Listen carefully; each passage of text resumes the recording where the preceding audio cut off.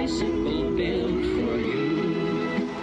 Let's take a ride through the valley. Let us enjoy the view. Pedaling away will be merry, smiling as bright as we do. And you look so sweet, right on the seat of the bicycle